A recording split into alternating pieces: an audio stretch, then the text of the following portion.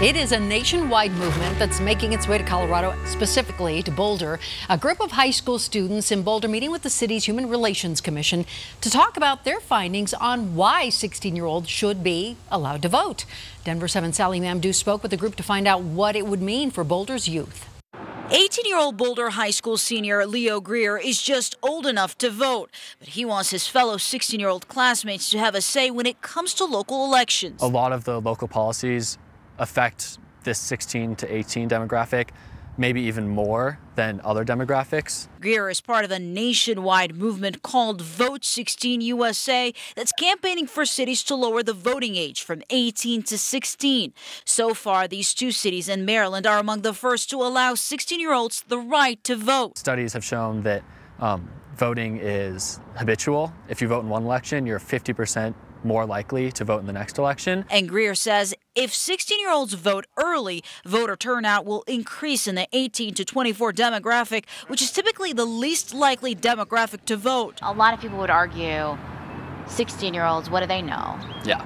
What do you have to say about that? That's uh, we get that one a lot. Greer says most local policies in Boulder, like sugary drink and back taxes, impact 16-year-olds. At 16, you know, students are beginning to work, they pay taxes, they can drive. So a lot of the issues that would be in a local election are issues that do affect 16 to 18 year olds. That was Sally Mamdouh. All right, let's talk State House now. Marianne Goodland of the Colorado Independent is joining me now. We had a couple of state lawmakers here last week wrapping up the legislative session for us, giving us their summary of it.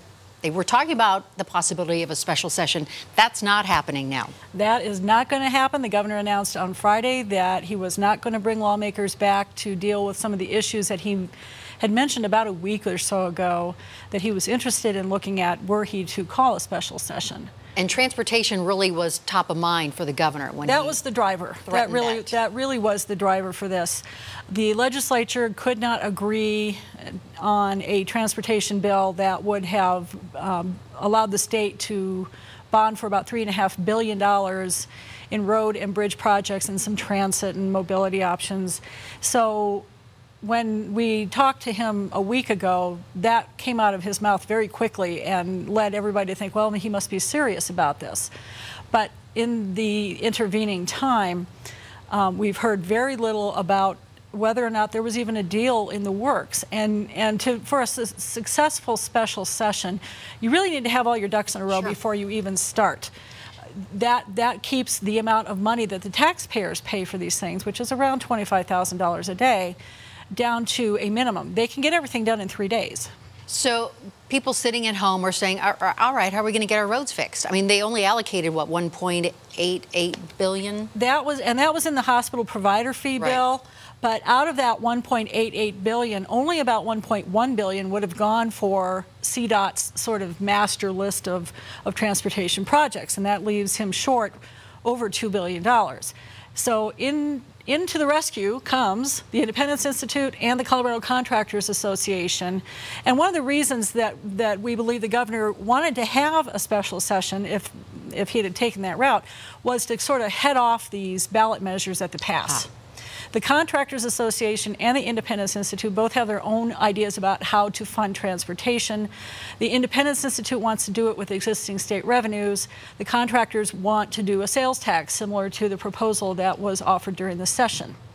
Both of them are statutory which means that if they get all the way through the process, coming to a grocery store near you.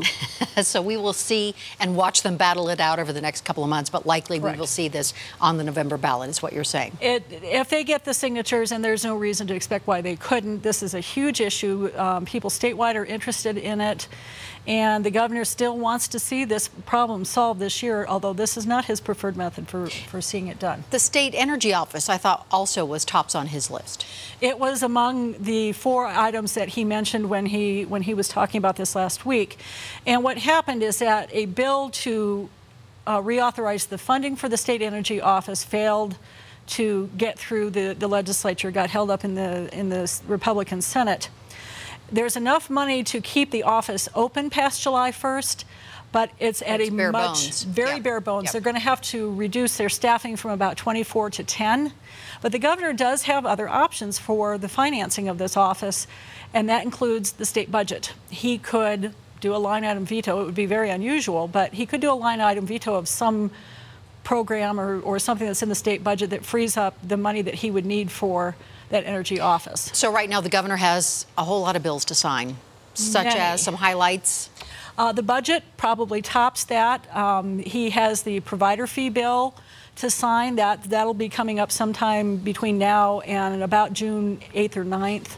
All those any bills that he's going to sign or veto, he has to take that action within 30 days of the end of the session. So overall, a successful legislative session, would you say? Very. Um, the governor made the point that he thought this was the most successful session that he's seen since he's been governor, and I wouldn't disagree with that.